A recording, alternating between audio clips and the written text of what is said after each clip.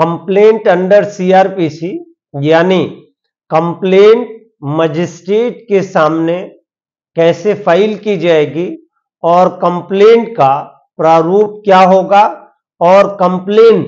किन किन परिस्थितियों में कैसे कैसे फ़ाइल होगी। तो सबसे पहले किसी भी मसले या मैटर को लेके कंप्लेंट फ़ाइल करने के लिए यह ज़रूरी हो कि कोई काज ऑफ़ एक्शन एराइज हुआ हो, यानी कहने का तात्पर्य यह है कि कोई घटना घटित हुई हो, जिसको लेकर के शिकायत संबंधित लोकल पुलिस स्टेशन पे की गई हो,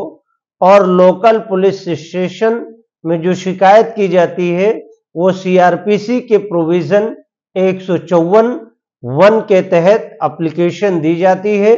और अगर वो शिकायत परमाफेसाई अगर परमाफेसाई वो कॉग्निजेबल ऑफेंस को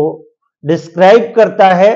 यानी संघीय अपराध को तो एफआईआर मैंडेटरी लिखा जाना है, और अगर संघीय अपराध नहीं है तो उसमें वो एनसीआर की तरफ़ बढ़ेगा। मान लीजिए कि स्टेशन हाउस अफसर ने एफआईआर लिखने से मना कर दिया, जैसा कि ज़्यादातर हो रहा है। अब ऐसी स्थिति में आपके पास एक तीन में सुप्रिंटेंडेंट ऑफ़ पुलिस या जहाँ पे कमिश्नरेट है, कमिश्नर ऑफ़ पुलिस को एप्लीकेशन फ़ाइल करेंगे और उसके बाद में अगर उस पर भी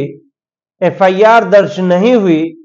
तो आप एक सौ तीन सीआरपीसी में मजिस्ट्रेट के यहाँ एफआईआर दर्ज करने के लिए या तो डायरेक्शन करा सकते हैं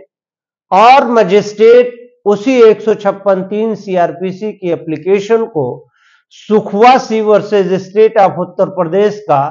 सुप्रीम मतलब जजमेंट का रेफरेंस देते हुए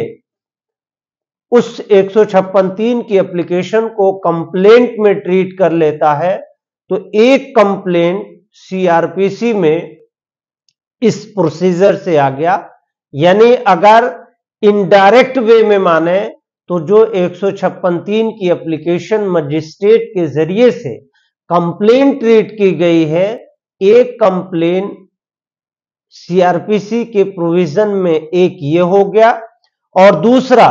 जो सीआरपीसी के प्रोविज़न में कंप्लेंट है, वो 190 सीआरपीसी में रिटर्न कंप्लेन मजिस्ट्रेट के सामने उस घटना के बाबत में फ़ाइल करना होगा, जिसके बारे में पुलिस, यानी लोकल पुलिस स्टेशन हाउस अफसर और संबंधित स्टेशन हाउस अफसर को देने के बाद जब उसने कार्रवाई नहीं की हो तो जब आप एक सौ चौवन की एप्लीकेशन एक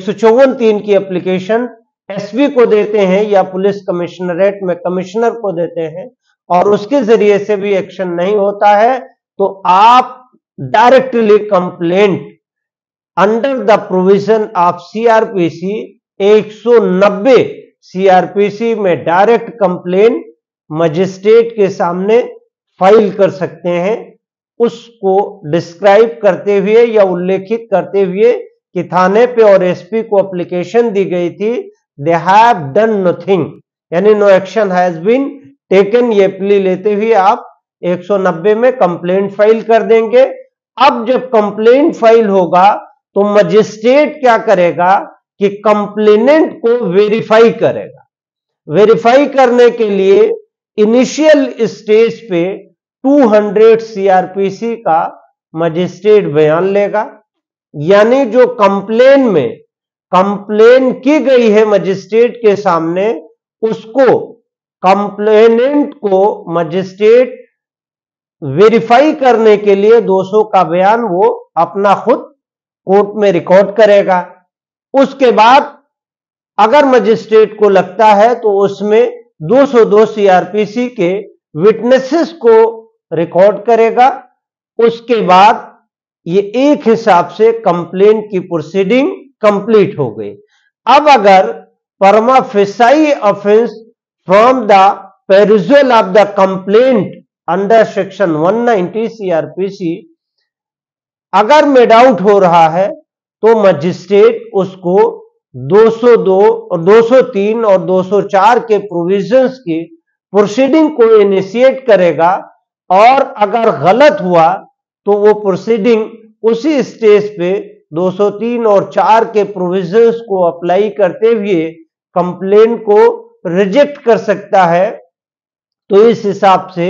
आपके कंप्लेन का सीआरपीसी के प्रोविज़न में ये दूसरे टाइप का है जो डायरेक्टली आपने फ़ाइल कर दिया। एक एक सौ छप्पन तीन की एप्लीकेशन जो कंप्लेंट में ट्रीट हुई, दूसरा थाने पे और एसपी को एप्लीकेशन देने के बाद आपने डायरेक्टली 190 सीआरपीसी में कंप्लेंट फ़ाइल कर दिया। 200 200 के बयान के बाद मजिस्ट्रेट अगर चाहे तो 203 और 4 में प्रोसीडिंग को इनिशिएट करेगा और अगर लगेगा कि नहीं, करने लायक नहीं है तो वो at the stage of summoning वो वहीं पे केस को क्लोज कर सकता है। तो सीआरपीसी के प्रोविज़न में एक कंप्लेन एक तीन के थ्रू जब वो ट्रीट कर लेता है मजिस्ट्रेट कंप्लेन में तो एक कंप्लेन ये हो गई और एक डायरेक्टली कंप्लेन जो 190 सीआरपीसी में फ़ाइल होती है, ये डायरेक्टली कंप्लेन है। इस हिसाब से सीआरपीसी के प्रोविजंस के तहत आप संबंधित मजिस्ट्रेट की कोर्ट में कंप्लेन फ़ाइल कर सकते हैं और कंप्लेन को 200 190 200 और 202 सीआरपीसी में डिफाइन किया गया है।